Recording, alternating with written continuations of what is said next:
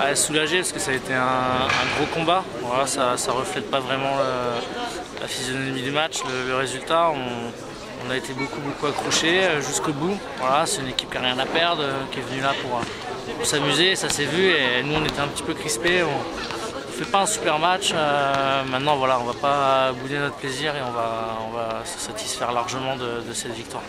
Surtout que dans le troisième set, vous êtes mené au score quand même. Hein. Ouais, voilà, on a une force de réaction qui est, vraiment pas mal. Hein. Voilà, on, arrive à, se surpasser euh, au bon moment, mais euh, j'ai peur que ça marche pas tout le temps, donc il va falloir qu'on fasse attention à ça. C'est la victoire du, collectif, hein. il n'y a, pas vraiment une individualité qui a brillé plus que d'autres aujourd'hui. Ouais, voilà, on n'était euh, pas très bien tous euh, voilà, euh, sur ce match et il a fallu qu'on s'en sorte tous ensemble. Il n'y a pas un mec qui, était capable de, ressortir le groupe, donc il faut que. C'est bien aussi, c'est une bonne leçon pour nous, puis il va falloir qu'on travaille encore plus pour, être plus performant dès la semaine prochaine. Toujours aussi important ces temps morts pour couper le rythme et la bonne dynamique adverse.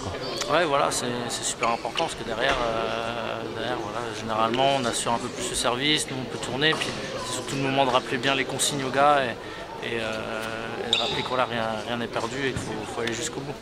Prochaine échéance On va à Saint-Cloud, Paris-Saint-Cloud la semaine prochaine, euh, dimanche. Et vous accueillerez Tourcoing la semaine d'après. Donc forcément, euh, victoire à chaque fois quoi.